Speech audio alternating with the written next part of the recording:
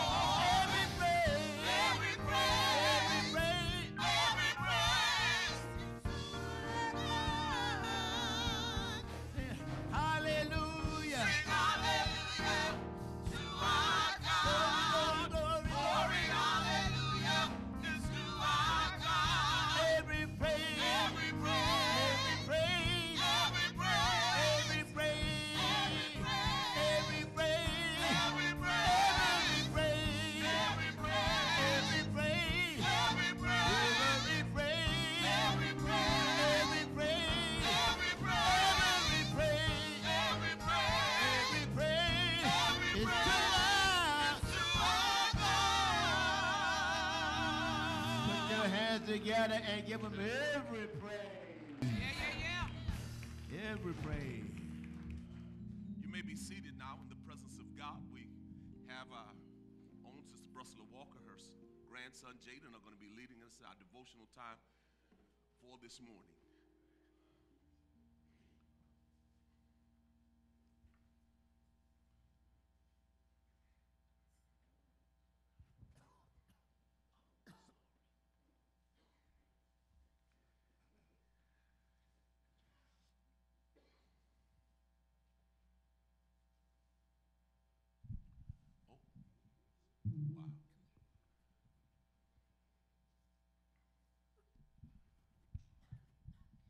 Strength and honor are her clothing. Mm. She shall rejoice in time to come. She opens her mouth with wisdom, and on her tongue is the law of kindness. Her children rise up and call her blessed, her husband also, and he praises her. Many daughters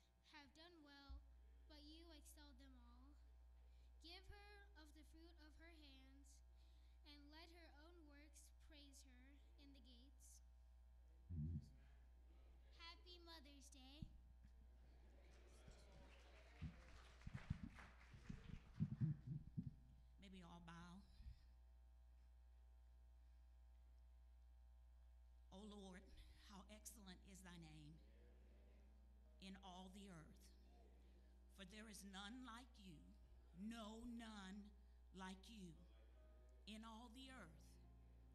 Every knee shall bow, and every tongue shall confess that he is Lord. Father, you are an awesome God. You are holy. You are righteous. You are faithful. You are ever loving, ever giving. You are merciful. And we praise you. Lord Jesus, we come right now confessing our sins. We confess that we have fallen short. We confess, Father, that we have done things that we shouldn't done. We haven't done things that we should do.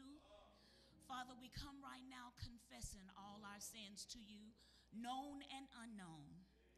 For you said in your word that if we confess our sins, you're faithful and just to forgive us of our sins and cleanse us from all unrighteousness.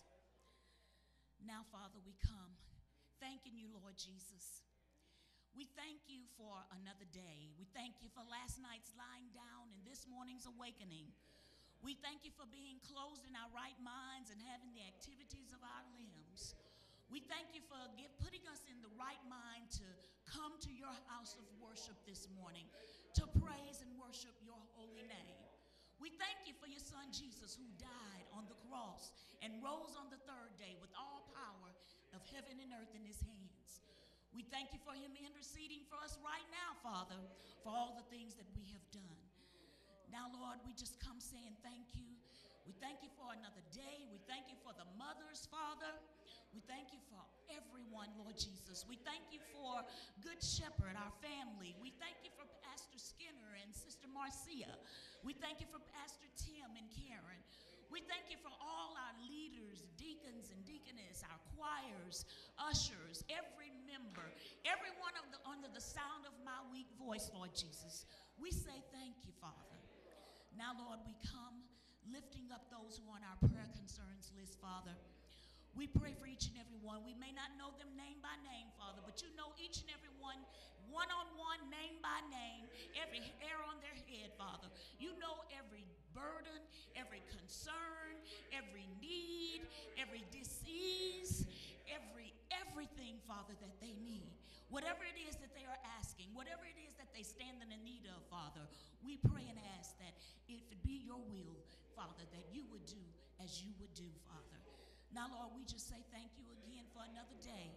We thank you for this worship service, Father. We thank you for another opportunity for us to come together and worship. We thank you for allowing us to come together this morning, Father, to praise and worship your holy name. We thank you for another opportunity, Father. Another opportunity, Father. Another chance, Lord Jesus. You didn't have to do it, Father, but you did. And we say right now, thank you, Lord. Thank you for everything. We pray for the preach word on today, Father. We ask that you would stand and declare your word, that you would hide your word in our hearts, Lord Jesus, that we may go forth and live it out all throughout the week, Father. Now, Lord, we just thank you for this chance to pray. Thank you for this opportunity to come before you, come before your presence, Father. These and other blessings we ask in Jesus' name, I pray. Amen. Good morning. Let's give the Lord a hand clap of praise one more time for all mothers. Happy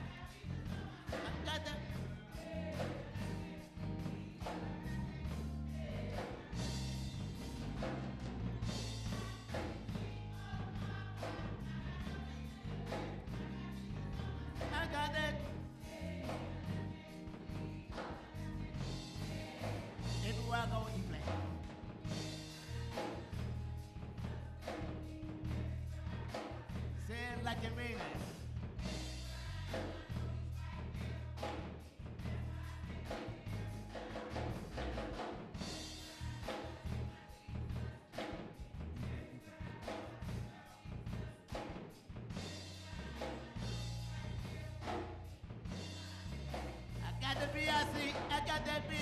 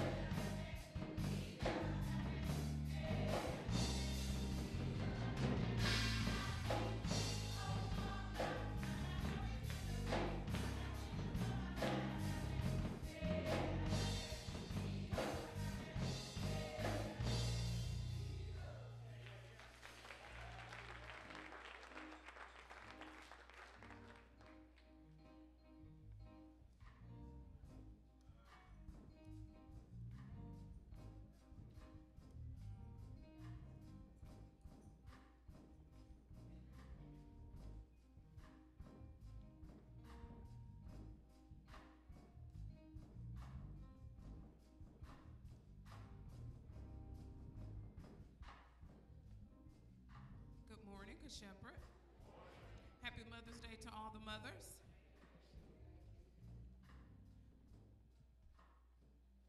I will be reading a poem, and the poem, poem is titled A Virtuous Woman. A virtuous woman is one of a kind.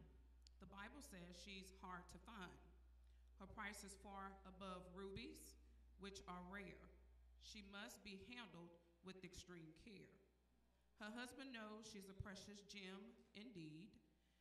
He knows that she is willing to please. Her children treat her with honor and respect. They know that she always does her best. A virtuous woman does all that she can. She's always there and stands by her man. Though she's humble and meek, she takes no mess. She can count on her, you can count on her to pass the test.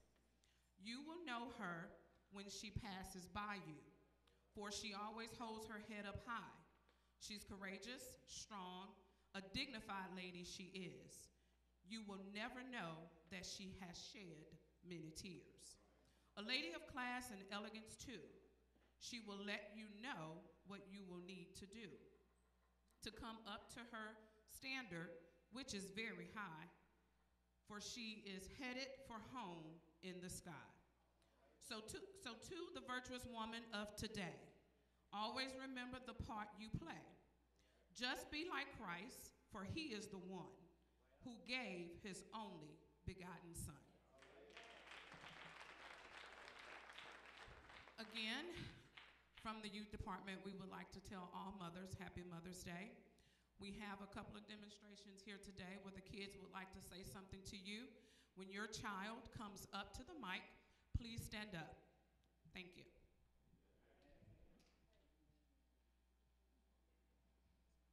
I'm sorry. After the youth, the men will give their presentations after that, okay?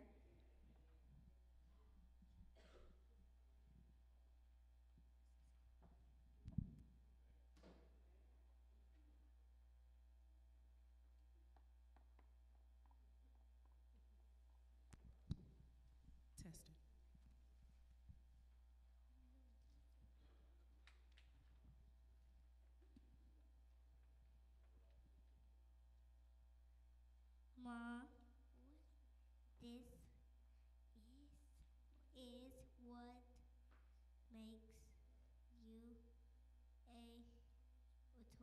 Ruby.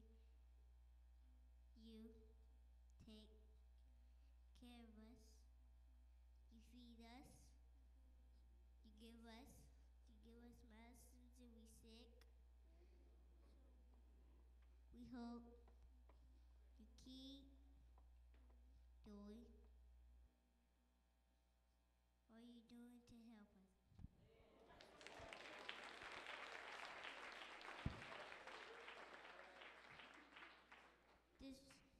This ruby is for you.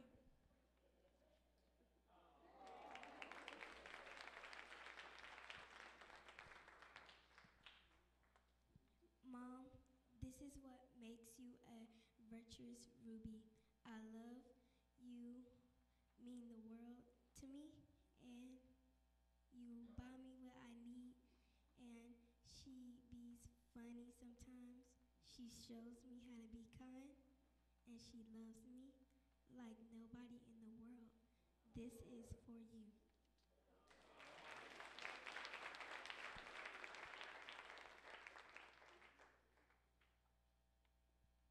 Mama, this is what makes you a virtual ruby, a virtuous ruby.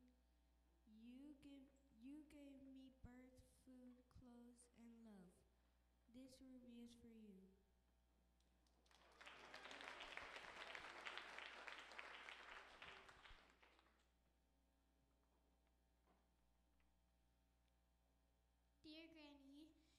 Are the best in the world. You are nice, care for people, good at cooking, and protect me. Every day you take care of me. I, at the end of the day, you should know that everybody loves you.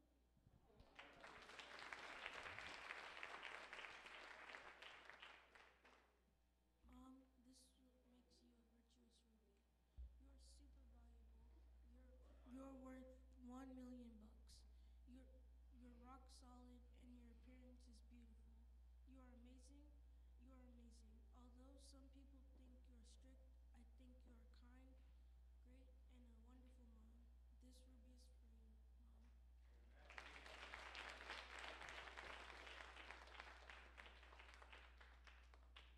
Grandma, I love you, and this is what you a virtuous woman. Because you are patient and loving and caring. You cook good. and this ruby is for you.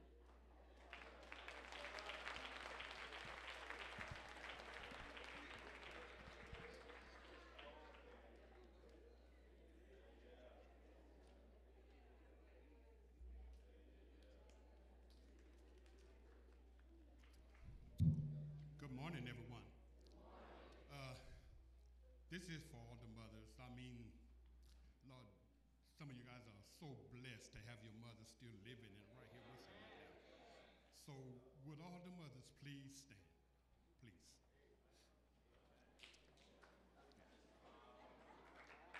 Wow. Wow. On, uh, on behalf of the MOC, we would like to say happy Mother's Day to each and every one of you for being the, the lady that you are to take care of kids, people like me, actually. So, happy Mother's Day, and I hope your day be joyful. And with, uh, with this, we have a, a, a token, a little gift for each, one, each and every one of you. Um, if I can get some assistance from some of the kids, please.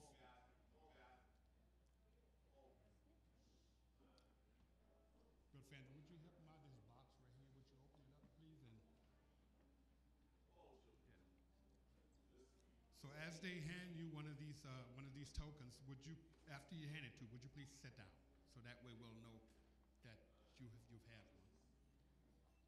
And uh, would somebody give Miss Pat an extra one for her mother?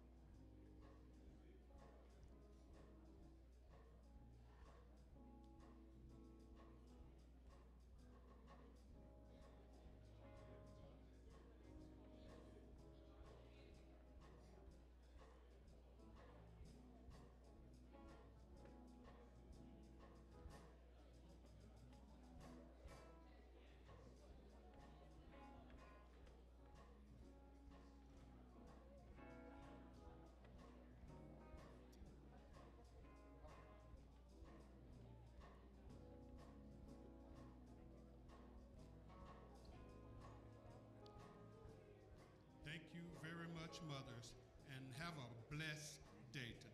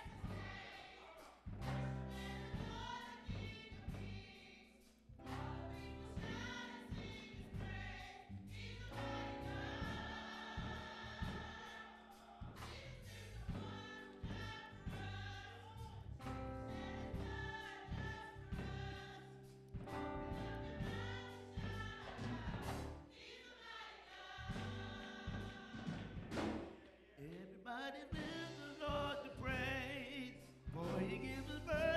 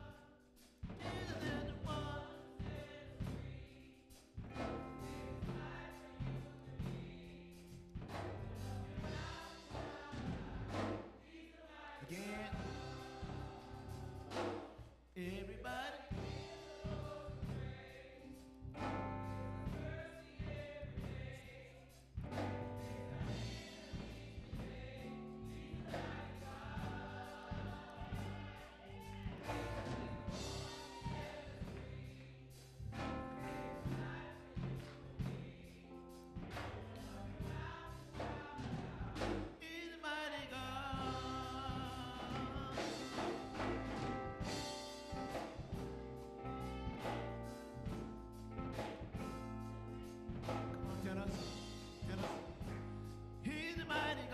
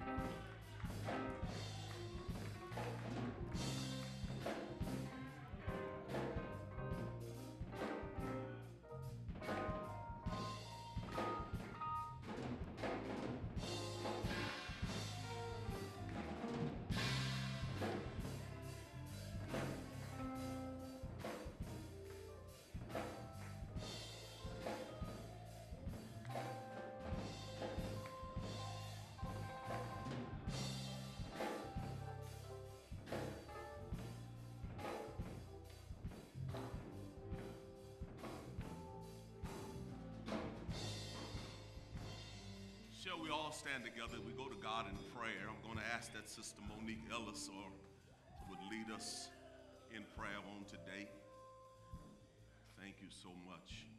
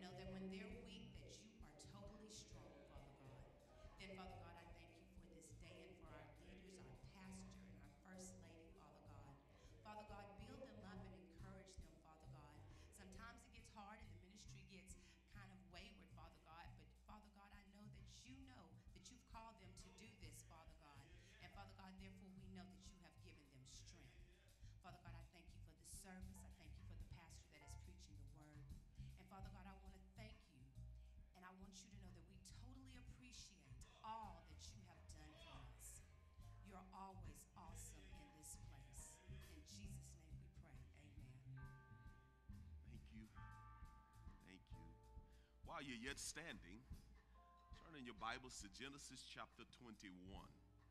Genesis chapter 21. Good to see everybody on this great Lord's Day. Again, happy Mother's Day. Uh, to all of our wonderful mothers, we praise God uh, for you. Genesis chapter 21. I'm going to begin at verse 15 for our study for the day. Genesis chapter 21. And I have to admit, I've got a lot of favorite mothers in the Bible, but I really love Hagar. And I love the story of Hagar, the life of Hagar, uh, in terms of what she had to endure uh, being a mother. And the word says, Genesis 21, beginning at verse 15.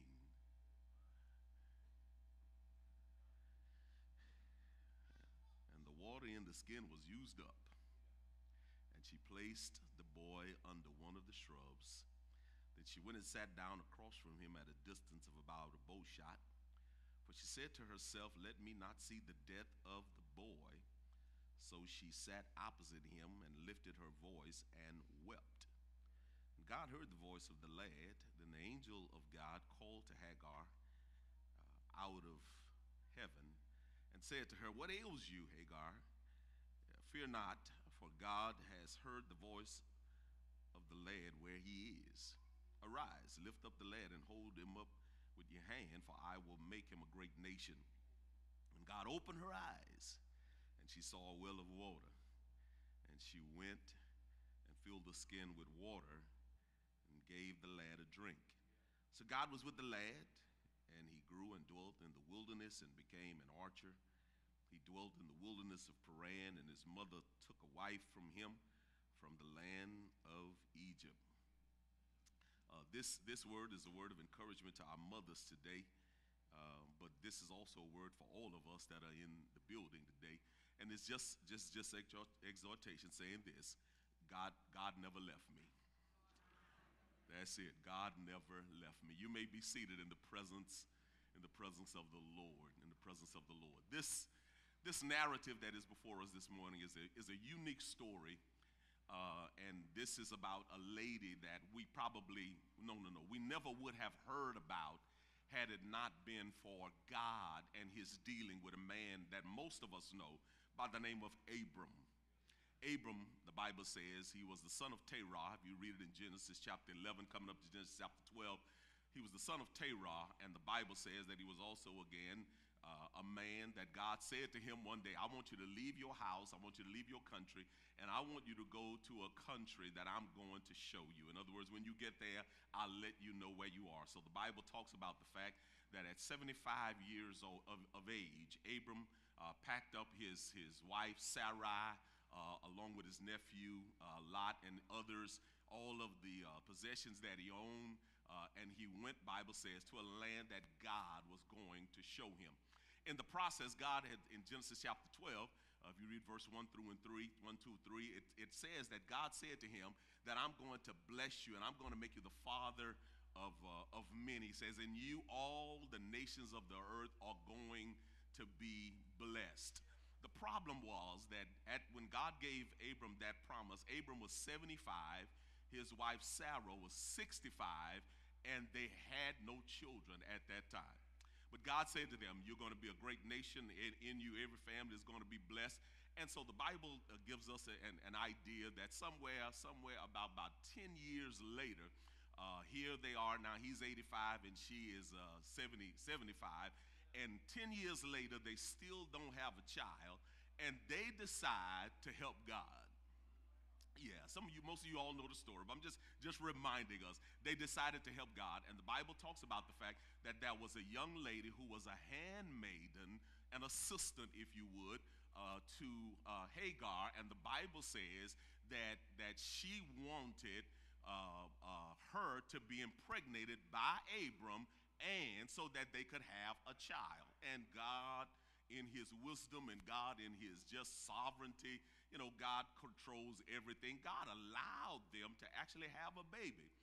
And here they are. Abram now is 86 years old. Uh, it's been it's been 11 years later. The promise is still not come, and the Bible says that when Hagar, this young handmaiden, got pregnant, she kind of kind of did something that upset Sister Sarai. She, she got a little upset, you know, kind of one day she was kind of doing one of those, nah,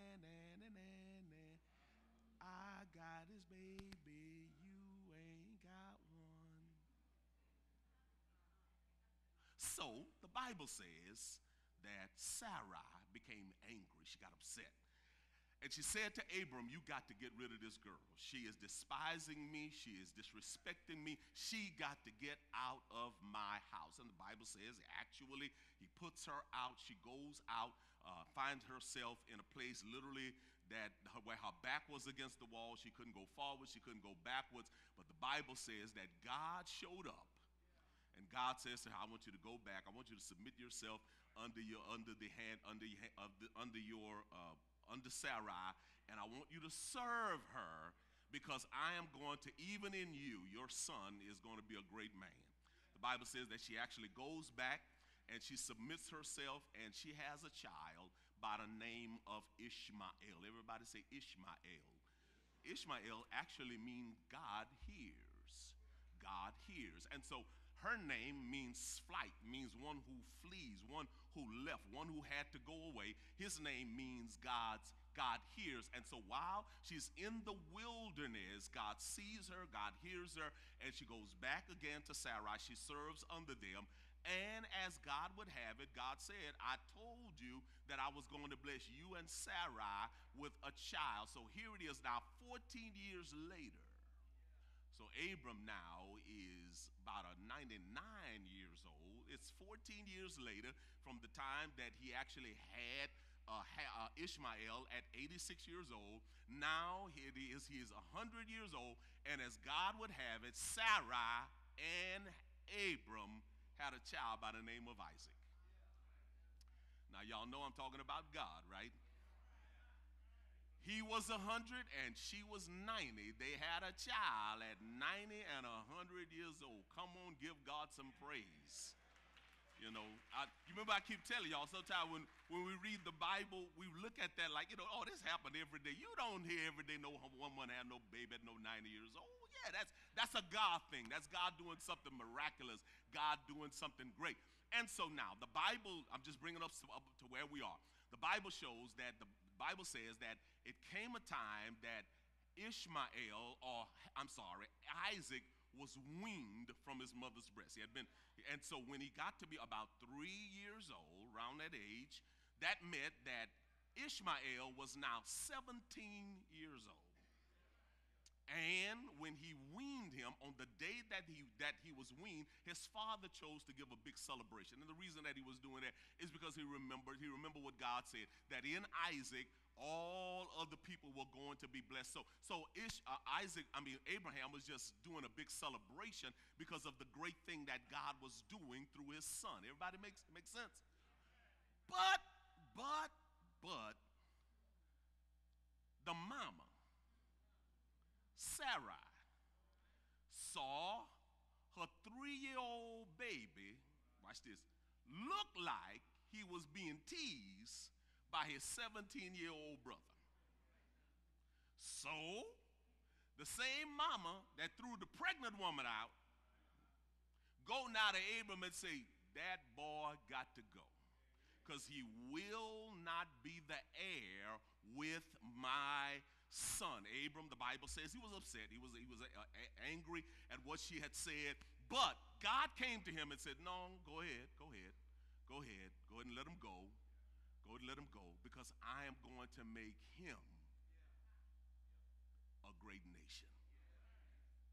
So now, when we come to the text, they now find themselves have been cast out from Abram and Sarai and Ishmael and his mom Hagar are all alone in a wilderness called Paran.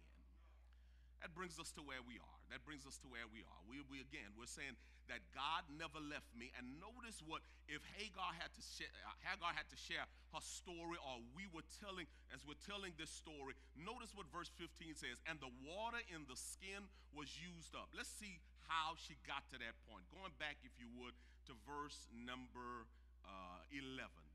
When Abram heard what Sarai said, he was angry. It says, and the matter was very displeasing to Abraham sight because of his son. But God said to Abraham, Do not let it be displeasing to you in your sight because of the lad, because of your bond of the bondwoman. Whatever Sarah has said, uh, listen to her voice, for in Isaac your seed shall be called. Yet I will make a nation of the son of the bondwoman because he is your seed. So Abraham rose early in the morning and took bread and skin of water, and putting it on her shoulder, he gave it and the boy to Hagar, and went her way and sent her away. Then she departed and wandered in the wilderness of Beersheba. In the wilderness of Beersheba. And that kind of brings us for the first thought uh, for the morning. Here's what you got to know, Mama, the rest of us, all of us got to know. We got to know that God hears. You, you have to know, no matter what's going on in your life, you got to know that God hears. Could you just turn to them and say, God hears? Listen, two things, two things we're showing. He hears what? First of all, in the in the in the silence, he hears in the silence of human limitations. He hears in the silence of human limitations. Notice, notice what the verse says. The water in the skin was used up. The water in the skin was used up. Remember now, the food had already run out. Let's say it this way. First of all, the folk had put them out, the food had run out, the water was used up. And so, from that standpoint, we recognize God shows us we all have human limitations. But it does not matter how limited we are as human beings, the God we serve still hears us, watch this, in the silence of human limitations. No, notice why I say the silence of human. There was, there was no other human being there other than Hagar and her boy Ishmael. But Ishmael was so weak that it appears at this particular time he really can't say very much. There's no other human being to hear that situation. There's no other human being there to know what's going on. But even in the silence of the human limitations, God hears. Yes.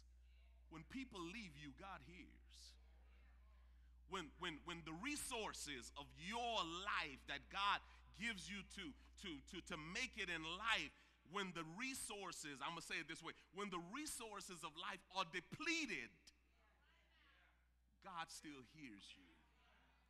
Has, has anybody ever said, man, this show got low?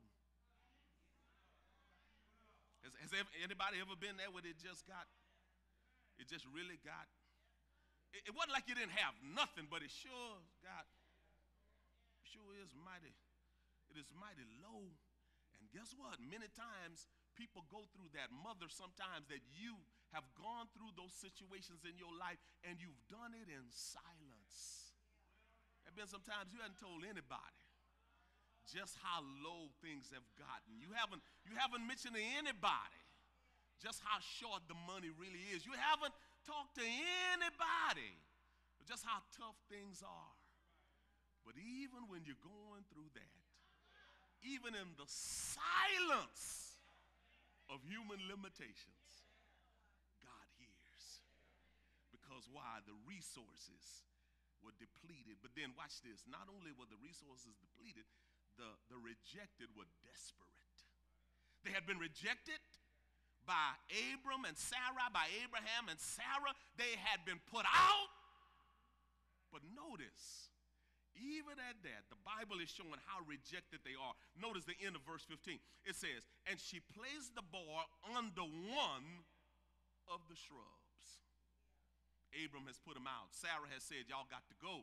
But here, here they are in silent struggle, in silent pain. They're in a state of depletion and desperation. But God hears. When things are low, when we get to a point of desperation in life, when you just don't know what to do, you don't know where to go, you don't know who to turn to, because in reality, in this case, they had nobody else to turn to.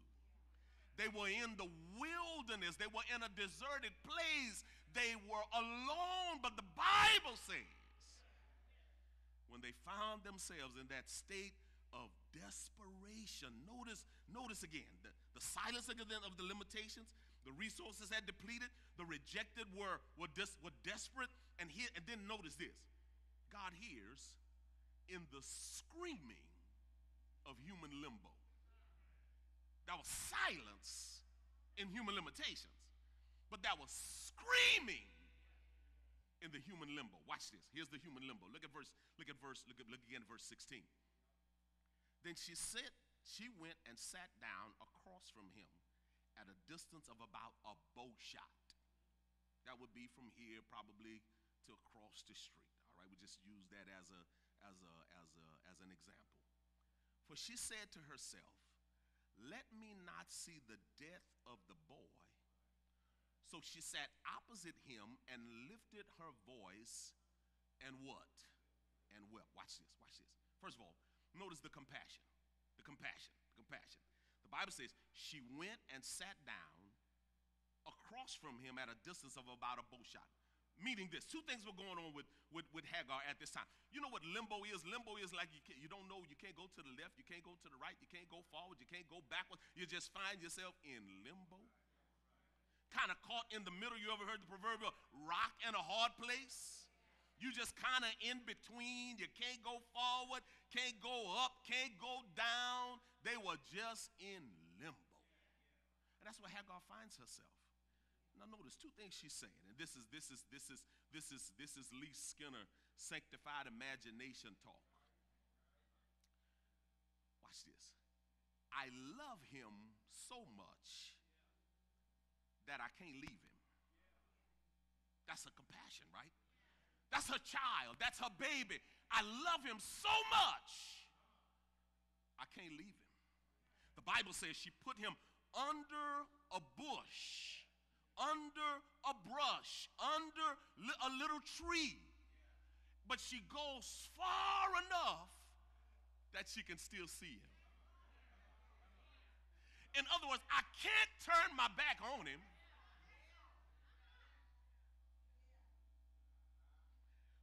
But watch this, watch this. I love him so much that I can't leave him. But watch this. I love him so much that I can't see him leave. Did you catch that? I love him so much that I can't leave him, but I also love him so much that I can't see him leave. Hagar knew at this point that her child, without water, was about to die. But I can't turn my back on my child. But what will I do? I'll place myself far away enough that I can still see him, but I can't leave him. But I can't be with him because I can't see him leave. I, I can't leave my baby. I want to hug him, but I can't be holding him because I don't know what it would be like for me to be holding my baby and my baby dies. Is that limbo or what? Is that a tough place or what? Mom, dad, friend, brother, sister, is that a tough place to be? She was in limbo. And, and, and, and you know, it's kind of like today, some things that are that, that's a, I hear some parents saying, you know, I need I need to allow my child to have a social life, but I don't trust the society they got to go in. I, I, should permit I should permit my child to date the opposite sex, but but I ain't I'm not condoning this culture view of sex. I can't do it. My, my, I, I know my child needs to be with both sides of their parents, but there's some stuff going on that, ooh, I just can't, I just can't get with. I, I, want, I want my child to have the best things of life. I want them to enjoy. I want them to, to be doing well in school, but, but I just can't give them everything that I see the other children. There is a limbo. There is a tension. Sometimes, mothers, that God is allowing you to experience in life, not only with mothers, but all of us.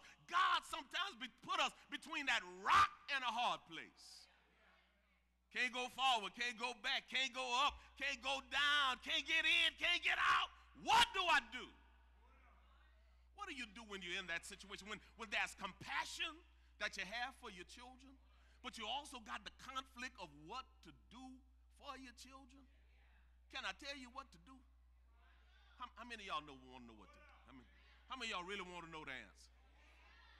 Well, here's a simple answer. Why is it? The compassion is there, the conflict is there. You don't know what to do. Let me tell you what you can do. Cry. Let me let me show you. Let me show you. Let me show you. Cry. Let, let, let, let me not see the death of my boy. So what, what happens in verse 16? So she sat opposite him and lifted her voice and wept. I know some of y'all, y'all bad. Y'all I ain't crying for nothing. I ain't. But let me tell you something. Every now and then, God will allow some situations in your life. It doesn't matter how strong you think you are, how bad you think you are. God will bring you to some situations in life that will bring you to tears. Can I get one witness over here? And maybe one somebody to help me over here. God will allow you. Can I get somebody? And so it, y'all, it just makes sense. It just makes sense. I, I, there's, there's, a, there's a popular song. Uh, uh, I'm not. I'm not gonna say, but but but there's a phrase in there where, where the uh, the gentleman says, "A man ain't supposed to cry." And I'm like, man, you must be crazy. Because I know some fellas in the book that when situations got rough, y'all, y'all remember Jonah, don't you? Jo- Jonah said he wasn't gonna preach. I ain't going. I ain't doing that Nineveh thing. I'm not gonna do it. I'm not going because Lord, I know you got some compassion and mercy. If them folk change their mind, you gonna forgive them folk. I don't want you to forgive them. I am a patriot. I want them folk in Nineveh to be destroyed. The Bible says rather than going where he should have gone, he took a ship and he went a total opposite direction. But the Bible says that God allowed Jonah to be thrown overboard. When Jonah was in the belly of that fish, couldn't go up, couldn't go down, couldn't get in, couldn't get out. The Bible says that Jonah cried. Can I get somebody to help me in here?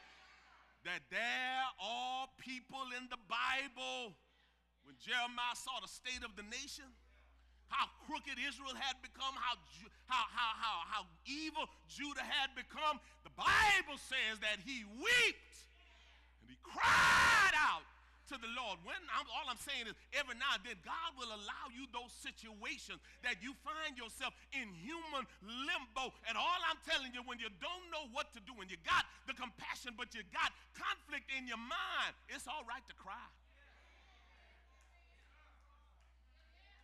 And, and I'm saying it to the younger brothers in here don't you let any man tell you, don't cry, brother. Let me tell you why. I know another man. And, and, and this man, it happened to him on a Friday evening. And, and he was hanging on a, I'm, I'm, I'm, I'm doing the gospel early right now. He was on that cross, y'all. And while hanging on that cross, the Bible says he cried out, Father! Am I making sense? So, so if you think that crying is some kind of is some kind of way sissy, I'm just telling y'all now I'm gonna be a sissy in the name of Jesus. Some kind of way it make you less than a man. I'm going to be less than a man in the name of Jesus. Because I've learned that when you get in some situations, you ain't got nobody. Your mama can't help you. Your daddy can't help you. Your husband can't help you. Your friend can't help you. The banker can't help you. The doctor can't help you. I know somebody. That's why I'm trying to recommend him to you today. I know somebody. And, and, and, and, and watch this. And watch this. Watch this. She was alone in the desert. The Bible says she cried. What? No Abraham, no Sarah. Watch this. Even at this point, even her 17 year old boy can't help her. But somebody heard her. And watch now, watch now. Notice what happens. And that's what the verse say, verse 17. And God heard. But notice, notice what the text says. The voice of the lad. Mm. She cried, but he heard his voice. Can I get a witness in here? Ma- mama, mama, you just got to understand. You got to understand no matter where, what situation your children may be in, what circumstance your children may be in, if you cry out to the Lord, God is able to do something about She cried, but the Bible says he heard his voice. I don't, I don't know, I don't know, I don't know, I don't know what Hagar said. I don't, I don't know if he even said anything at all. But God heard his voice. Listen, folk, God will allow us sometimes to be in situations that we don't even have no words.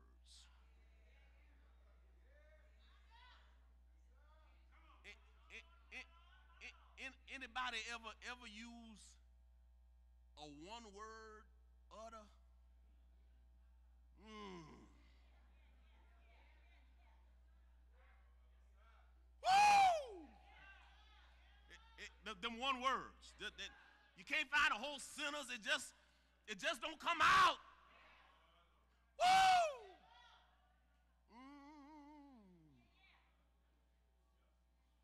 Yeah, shaking your head too. Because the pain is tough. The pain is rough. But the God we serve hears us in the silence of our limitations. The God that we serve hears us in the screams of human limbo. Notice, notice, notice.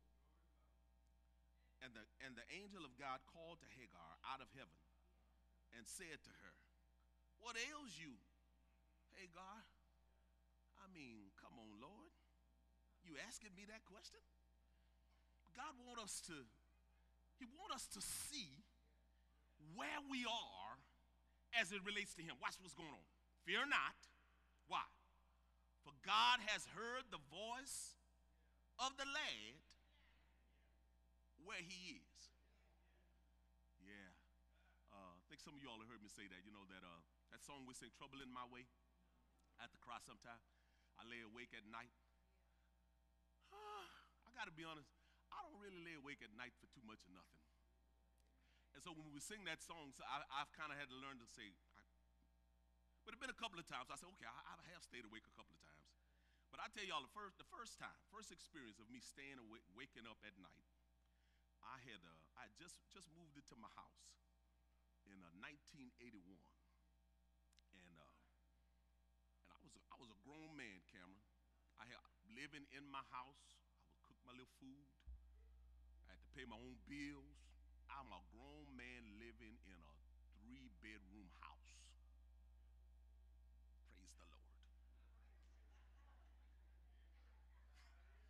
But one night, mm-mm, one morning, I woke up and I was like, oh man, oh Lord, oh, oh. I cried that night too. Oh, toothache. I mean, with one of them toothaches, it was going up here, through my brain to the other side, making tears fall on this side. It was just terrible. It was terrible. It was just, it was, it was hurting. And now guess what?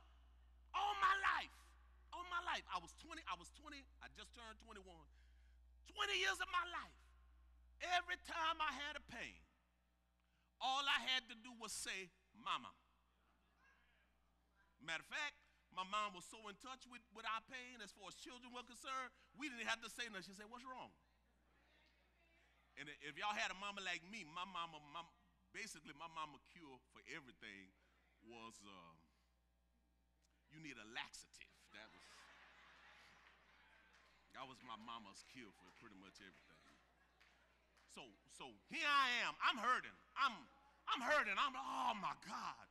But guess what? And and I and I, and, and, and this is the truth. This is the truth. I woke up and I, and the first thing I said, Mama, and it dawned on me. You a grown man now. You can leave your mom and daddy house. You got your own stuff. What you gonna do, Lee Skinner? I tell you what, the one thing I'm glad about, my mama taught me how to call on the name of Jesus. Oh, you can bet that night. Because what I recognized that there was nobody else to help me in my situation. But the good news is, mama, if you teach your children about Jesus, I don't I don't know. I don't know. I don't know. I don't know what Ishmael did. All I know is that Ishmael was raised by a godly man. I know Ishmael was raised by a man that loved God, a man who had faith in God, a man who had come to trust God. I know that Ishmael was, was, was circumcised on the eighth day because his father obeyed God. And maybe it's because Ishmael remembered. That's why God would hear the cry of the lad. Here's a, here's a second thing. I'm about done. God hears, but then God helps. God helps. Notice, notice what happens at verse at verse uh, uh, 18.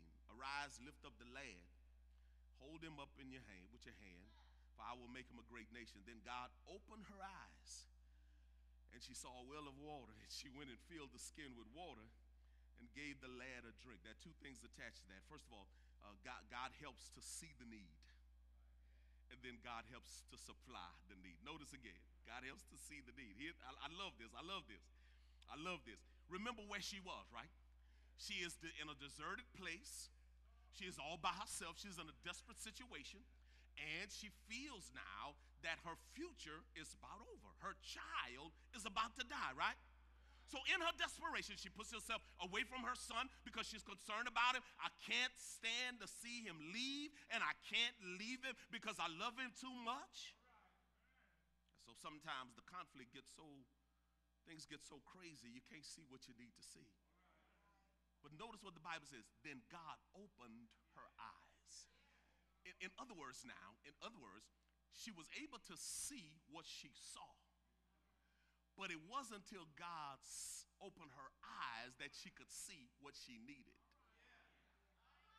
Am I making sense, y'all? that, that, that a lot of times there are situations that are going on in our life and we see things for what they are. This is the fact. This is the reality. I just don't see this thing another way. But there's something about when God shows up and God allows you to see what's really there. Now you have to understand. The Bible clearly tells us man, it's man plans his ways, but it's God who directs the steps, right? So now, God strategically, while she was going through the wilderness, God was strategically pay, placing uh, uh, Hagar where he wanted her to be.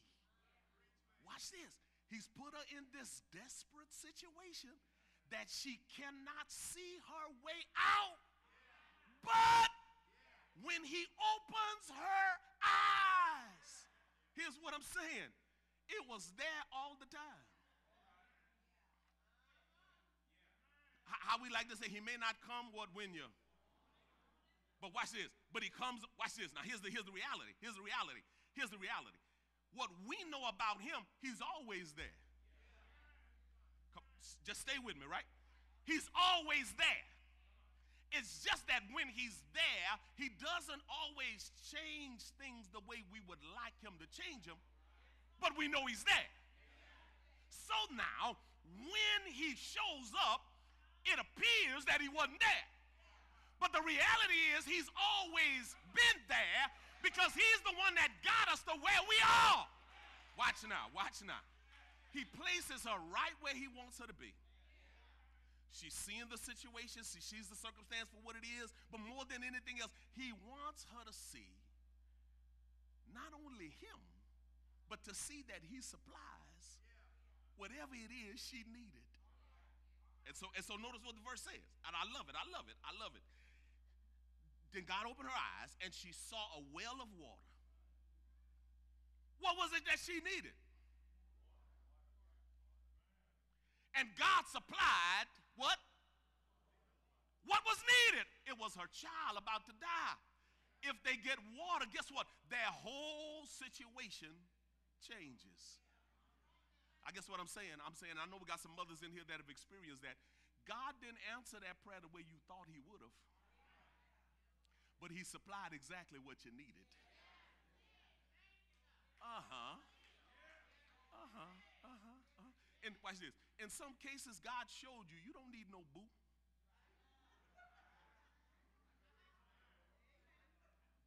Hmm. In some cases, you don't need no man right now. Can, can I get a witness in here? Uh, right now, you, you don't need another job. Not, not, not. All you need to do is see that I'm supplying what you need right now. So, what I'm trying to say, even when it looks desperate, don't go on your own. Don't try to figure it out for yourself. Allow God to open up your eyes to see that what you need is already there. You know why? Because God has said to us who are his children, he will supply all of our need according to his riches in glory. Yes. Your child needs some clothes? Yes. But they don't need it from Neiman Marcus.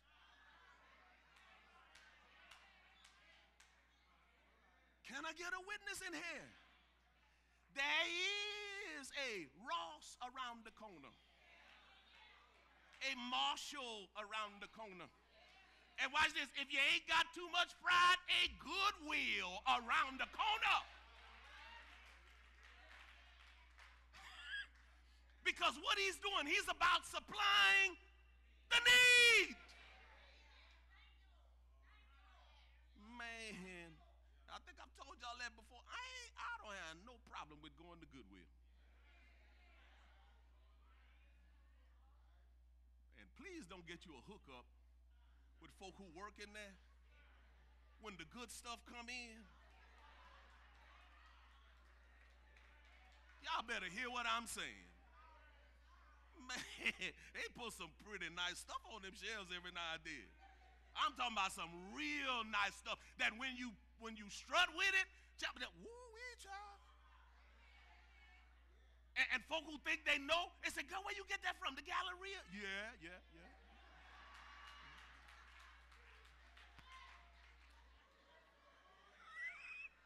Don't, don't, don't lie. You ain't got to lie. Don't lie. Don't lie. Are y'all getting what I'm saying? God knows how to supply what? The need. Single mom, you don't need no sugar daddy. You got the Lord. I'm going to say that one more time. Single mom, you don't need no sugar daddy. You got the Lord. And I know what y'all looking at saying, but say, Reverend, come on, hey, hey, you been married 37 years. How you gonna tell me I don't need no man? I, that, I'm telling you, if you ain't got no man, you got a man. It's just that he don't look like us and dress like us. You can't see him sometimes, but you got a man. Matter of fact, he's sitting on the right hand of his father right now, just waiting for you to cry out.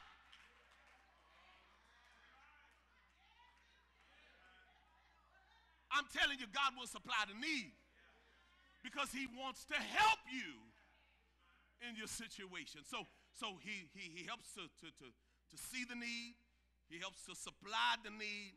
And the Bible says, what did she do? She went to the well. Because remember, she already had the, the, the skin, but it had dried up, right? She gets that same skin that Abram gave to her, goes to the well, puts water in it, and the Bible says she can now move on. Watch now. This is the last thing. God helps.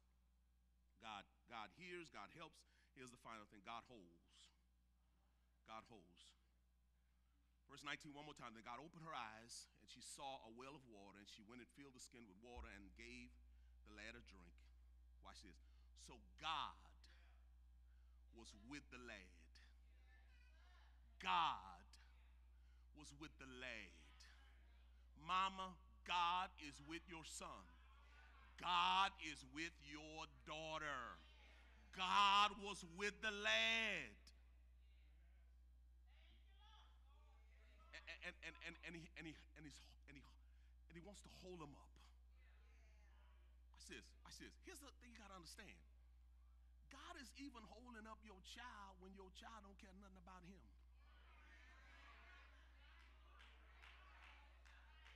Yeah. Yeah. The Bible says he causes it to rain on the just as well as the unjust. He causes the sun to shine on the just as well as the unjust. So I'm trying to tell you, you got to count on the fact that God will hold up your children. He hold them up as a person. Notice, Bible, notice what the Bible says. He was with the lad. Notice the progression. And he grew and dwelt in the wilderness and became an archer. He'll hold them up in their profession, in their profession. In terms of whatever it is that they're being productive at. He will hold up your children. And I know I got a lot of witnesses in here. Y'all got the proof that God will hold up your children. Some of your children, you admit they have made some bad mistakes in life, but when you look back on it and you look at them now, you recognize it was God holding up your child. It just had to be the Lord.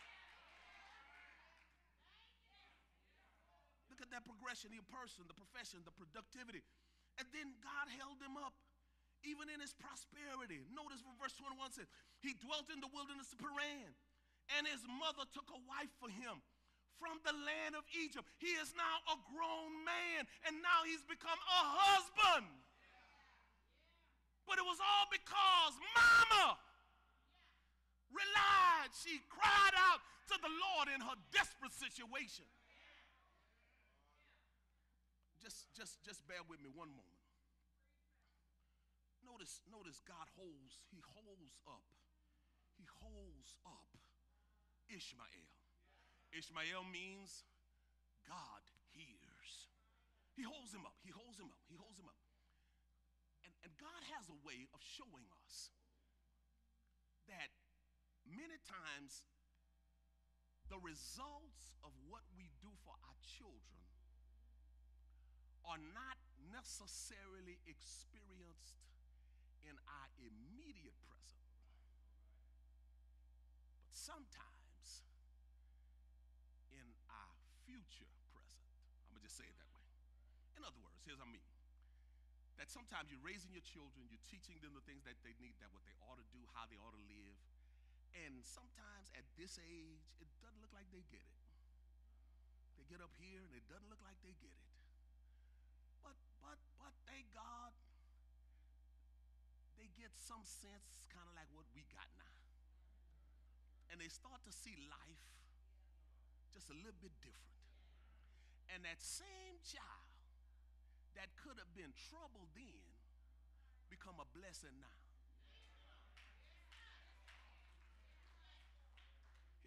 Here's what I mean by that. Here's what I mean. Let's see if I can just unpack it just a little bit, a little bit, a little bit. They just, they just Z. Right here, they just Z. hard-headed, stubborn. You're trying to correct some stuff out of them. Yeah. Z like Sienna. Sienna was Z. That's my sister, right? That's my sister. For those that, yeah. Sienna, this is true. Sienna was tough. Sienna was tough coming up, man. Sienna was tough. Because my mom and daddy, my mom and daddy, they weren't, they weren't mean, but they would discipline us. You, did, you were not just gonna do anything in the Skinner house and think you weren't gonna get whipped. You're gonna get a whipping, a spanking. You're gonna get something for that. You're just not gonna say anything, do. And Sienna was Muzi. Sienna was hard-headed and stubborn. And, and, and, and here come mama with the belt. And, and when mama get the belt, Charlene and I was, you know, we looking like, oh God, we know how this gonna turn out. Because mama would do this, Sienna's kind of, again, Sienna's straight face, twins. I mean, straight, tie y'all. And so now, so now we start hollering, Sienna cry, Sienna cry, Sienna cry. Because Sienna, I mean, I mean, I had it down pat. The moment I see the bell, ah, just because I'm trying to get you off of me as soon as I can. I mean, Charlene, Charlene didn't hardly get whipped. Charlene was a good child. I mean, she was obedient to my mom and daddy. So she got some whippers, but not a lot. But Sienna and me, man, boy, we got it, man. And I just be, Sienna, cry. Please cry. If you just let some tears stop, they gonna stop. Sienna, cry, cry. Sienna would just, I mean, just totally, she ain't crying. And I'm thinking, oh my God, this has got to be the craziest thing in the world. But watch this. Watch this. Child can be here, tough, stubborn. Let's say it again, Muzi. But boy, when they get up here, because let me tell y'all this. Sometimes we got some difficulty. I don't know if you're to see the video. I'm to say it anyway. Getting daddy to do some stuff.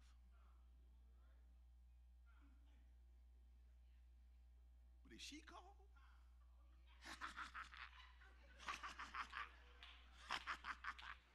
I'm like, what? What? Now, that was the one that gave you a whole lot of trouble back in the day, but now this the one that you just, oh, he, he. I'm just telling you, God got a way of turning that thing around. All I'm saying is you got to do your part. The Bible says she lifted him up to the Lord And as a result, the Bible says that God held up Hagar. Let, let- let me show you how God used Hagar. I'm sorry. Uh, uh, I'm sorry, Ishmael. And I'm closing. To protect Jesus. And I'll be done. Turn, turn in your Bibles to Genesis 37. Genesis 37. I want you to see how far this, how far reaching these things can go. No, before you do that, go to Genesis 25. Before you go there, Genesis, stop at Genesis 25. Genesis 25. This is, I'm starting at verse 7. Verse 7, and I'm, and I'm about done. And this is the sum of the years of Abram's life, which he lived 175 years. And Abram breathed his last and died a good old age, a man full of years, and he gathered to his people. And his son Isaac, watch this, and Ishmael buried him in the cave of Machpelah, which is before Mamre, in the field of Ephron, the son of Zohar the Hittite, the field which Abraham purchased from the sons of Heth. There Abraham was buried, and Sarah his wife. And it came to pass, after the death of Abraham, that God blessed his son Isaac, and Isaac dwelt at Beer Lahai Roi. Look at how God blessed Ishmael. Now, this is the genealogy of Ishmael, Abram's son, who Hagar, the Egyptian Sarah's maidservant, bore to Abraham. These are the names of the sons of Ishmael by their names according to their generations. The firstborn Ishmael, Nebajoth, the Ke- and then Kedar, Abdil, Mibsam, Mishma, Dumah, Massa, Hadar, Timah, Jetur, Naphish, Kedemah. These were the sons of Ishmael, and these were their names by their towns, by their settlements, by their princes according to their nations. These were the years of the life of Ishmael, 130 years. And he breathed his last and died and was gathered to his people. He dwelt uh, from Havilah far as east of Egypt, to go toward Assyria. He died in the presence of all his brethren. Now, if you would, go to chapter 37. Because you just cross over hundreds of years when you get to chapter 37. Because in chapter 37, we're dealing now with the life of Joseph. We know again, Joseph was the 11th son of Jacob. Uh, and here it is. The Bible says, show us in, in chapter 37, that at the age of 17 years of age, uh, in, in, in, in, in, verse 2 of Genesis 37, this is the, the, the history of Jacob. Joseph, being 17 years old, was feeding the flock with his brothers, and the lad was with the sons of Bilhah, the sons of Zilpah, his father's wives. And Joseph brought a bad report of them to his father. So again, the brother's plan, the plan was to kill their brother. The plan was to get rid of that brother, right? The plan was to destroy their brother. But notice, go, go up to verse 23. It says, So it came to pass when Joseph had come to his brothers that they stripped Joseph of his tunic, the tunic of many colors that was on him. Then they took him and cast him into the pit. And the pit was empty, and there was no water in it. And they sat down to eat meal. Then they fled. Then he lifted their eyes and looked, and there was a company of Ishmaelites coming from Gilead with their camels bearing spices, palm, balm, myrrh, and on their way to carry them down to Egypt. So Judah, Judah, of which Jesus is from the tribe of Judah, said to his brothers, What profit is there if we kill our brother and conceal his and conceal his blood? Come, let us sell him to the Ishmaelites, and let not our hand be upon him, for he is our brother and our flesh. And his brothers listened. Midianite traders passed by, so the brother pulled Joseph up, lifted him out of the pit, sold him to the Ishmaelites for 20 shekels of silver, and they took Joseph to Egypt. Now he's in Egypt. Go to chapter 39. About done. Joseph had been taken down to Egypt, and Potiphar, an officer of Pharaoh, can, captain of the guard, an Egyptian, brought him from the what? Ishmaelites who had taken him down there. And the Lord was with Joseph, and he was a successful man. And he was in the house of his master, the Egyptian. Here's what I'm getting at God preserved Hagar, who prayed or, or cried for her son, And God spared Ishmael's life. Ishmael had some children. And in the children, the genealogy of Ishmael, these are the same people that God used to bring Joseph out of a pit. You know who Joseph was, don't you? Joseph is the one that God used to preserve a nation called Israel that started off with 70 people that eventually came out of Egypt and went into the promised land. But it started with God using a handmaiden that had been deserted by her kinfolk. And the Bible says that he was preserved to be able to even preserve our Lord and Savior Jesus Christ. Because when you look at Jesus, you can't help but think about Joseph. Jesus was mistreated by his brothers. You remember the de- declaration, you meant it for evil, but God meant it for good. What happened on the cross that Friday evening? They meant it for evil, but God, but God, but God, He meant it for Sunday morning. Jesus got up with all power, with all authority. I don't know what your children are going to be. I don't know what your children are going to become, but you can rest assured God has never left them because he will never leave you, and you can count on God. May the Lord bless you, and may he keep you, is my prayer. Father, how we love you, and thank you for seeing in your word how you have used mothers in some unique ways to even get us to where we are today, Lord. This little young lady Hagar who was who was in obscurity, but God, you use her even to preserve the lineage of your son Jesus Christ. Oh, we love you. Oh, we honor you. Oh, when I think about the congregation today, my mama never imagined being pastored by a son. But here we are today. There are children in here right now that have had to do things for their parents they never thought they were going to have to do. But here we are today, Lord. There are children right now, you're getting ready for years to come, having to move their mama and daddy in the house with them and having to take care of them. Maybe it may be at a, at a, at a rehabilitation center, it may be in a nursing home, but Lord, we know you're orchestrating our lives. And we thank you for the mothers. Thank you for the fathers. We thank you for our sisters and our brothers that you are navigating our lives to ultimately get us to where you would have us to be.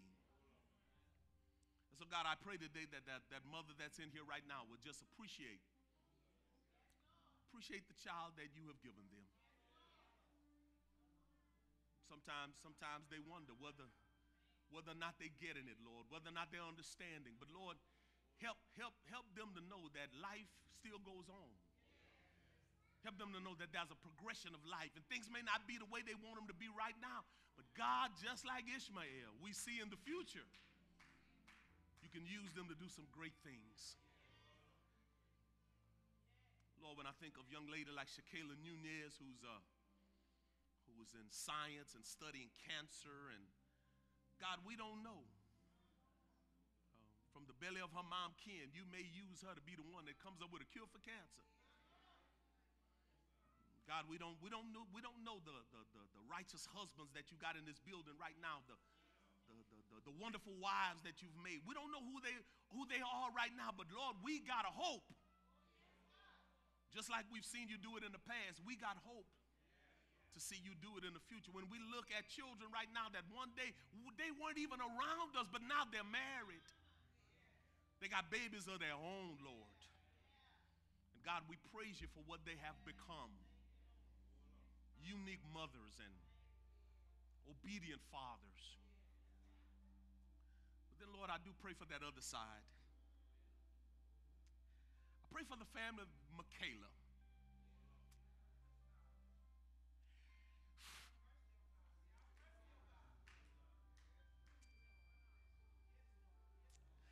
It's a parent that was a lot wrong in that family, Lord. There's a lot, a lot. A lot of dysfunction. So, God, we know the reality that there can be dysfunction in our homes. But I pray for every mother at the sound of my voice right now who would demonstrate unconditional love for her child. I pray for that mother right now that may be struggling, Lord, that desire to be with a man, but know that that man is not good for her child. I pray for that mother right now. I pray that you would touch her heart and let her know she got Jesus. She's got God the Father. She has the indwelling of the Holy Spirit. And God help her to know easily that that's not the man you want her to be with. Touch that heart, Lord. I know it's a struggle. I know it's tough. I know single moms, sometimes they got some things in their mind that can go contrary to your word. But Lord, I pray that you would help them. And then help us as the people of God. Not to put them down, to talk about them, to remind them all the time of what they didn't do right, but to come alongside and support them and help them. To know just as we had struggles early on, that they're going to have some struggles too. So, God, thank you for mothers. Thank you for the righteous mothers. Thank you for those mothers that are serious about raising up their children in the fear and admonition of the Lord. Thank you, Father. I ask your grace and your mercy continue to be upon each and every one of us. Now, Lord, again, if there's someone here today who hasn't trusted Christ as their Savior, touch that heart now. Touch their mind now. Help them to know the reality of serving a true and a living God. And that there is, again, no one greater than you, no one more powerful than you, no one who can do what you're able to do. We love you, bless you, and we honor you. In Christ's name we pray and for his sake. Amen. Perhaps today, if there is someone in here who hasn't trusted in Jesus as their Savior, here is your opportunity, here is your minute, here is your moment in life where we want to offer you Jesus Christ. We're not, we're not saying to you, we're not saying to you that uh, your life is going to be problem free. That's not what we're saying to you. But what we're saying to you is that God has given him to solve the biggest problem of your life, and that is sin. And you would say, okay, Lee Skinner, what are you talking about sin? Remember, when Adam and Eve came into the world, God said to them there was the tree that they couldn't eat from, the tree of the knowledge of good and evil, from the day that they did, they would surely die. The consequence of death, of sin, is death. And we see it all the time. We went to a funeral on yesterday. Somebody else is going to go to a funeral this week, whatever it may be. We're all acquainted with death one way or the other. So the reality of sin is still in the world. But God gave his son Jesus Christ. The Bible says, who knew no sin, and God treated him like a sinner for the sake of sinners who would believe. So today, so today, so today, all we're talking about Hagar, but we did talk about Jesus. And recognize again that only Jesus can give you salvation. Only Jesus can deliver you from the problem of sin. Sin is real.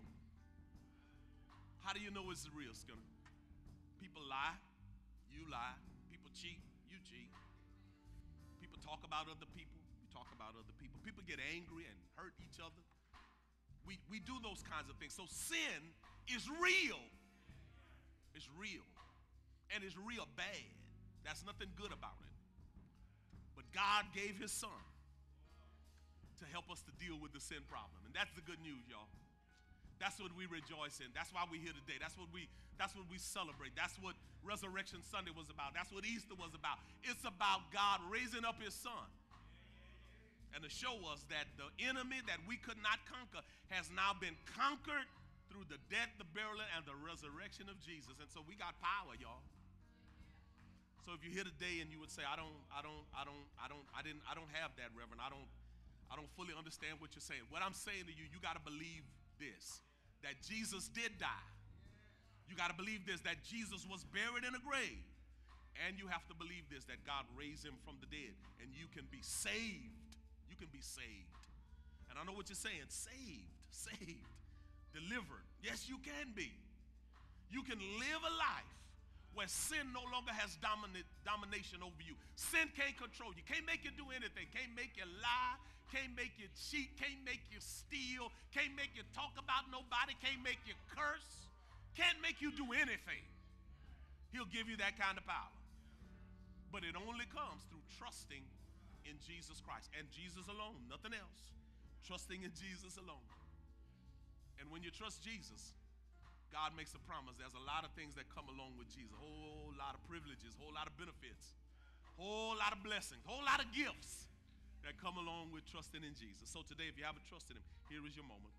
Come stand if you want to. We'll come to you. See these gentlemen standing? They'll, they'll, they'll reach you right where you are.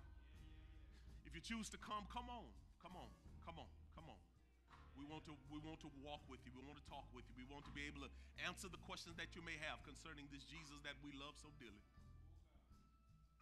Perhaps again you're already saved while you're still thinking about it. Maybe God is leading you to make Good Shepherd your church of choice. That's you today. Just stand where you are. Come if you choose. We would love for you to be a part of our church family. Amen. Amen. Amen. Amen. Amen. God bless you. Bless you. Come on, Brother Keith. Come on, Brother Keith. Bless you, man. Welcome, brother. Welcome, brother. Welcome, brother. Welcome.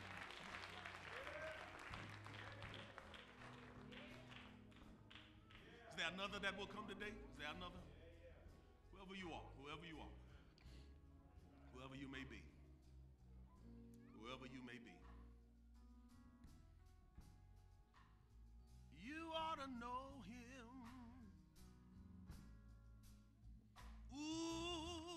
get to know him for yourself. Oh, right now, today, just come. Father, how we love you again and thank you for Brother Keith who's come. We're praying for others that are yet making the decision. Pray that you will touch every heart, every mind, every soul. Help us again to recognize the importance of a right relationship with you.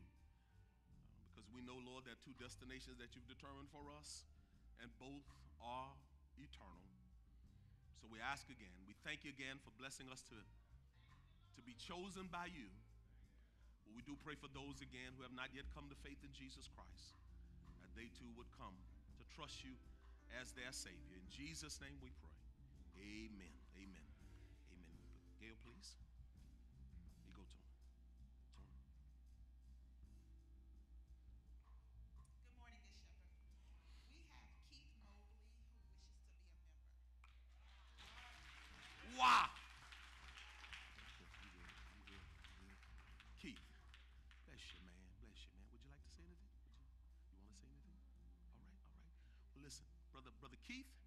Has uh, been uh, visiting us. Uh, wow, three, four months now, right, or more. And um, he is a, a friend, beloved of our, of our church family. Um, most of you could see him on Wednesday night if you came for Bible study. He's here on Wednesday nights for Bible study, and we praise God for him. And we've already had some conversation with him. We know again that he has trusted in Christ as his Savior, uh, recognizes him to be the Lord of his life. And so we want to give you the hand of welcome uh, to the Good Shepherd family pray again that God will allow you to work out your salvation. Um, uh, found out that he is a he is a he's a student of the Word. He loves the Word of God. Uh, he has a desire to um, um, learn more from God, and he does a little teaching uh, here and there. And so we thank God so much for him. So we look forward, Keith, uh, to what God is going to do in and through you as a result of being a member of this congregation, that whatever way he chooses to use you, we want him to use you, all right? God bless you. Would you give him a hand of welcome one more time? Amen. Keith, what's the last name? What's your last name?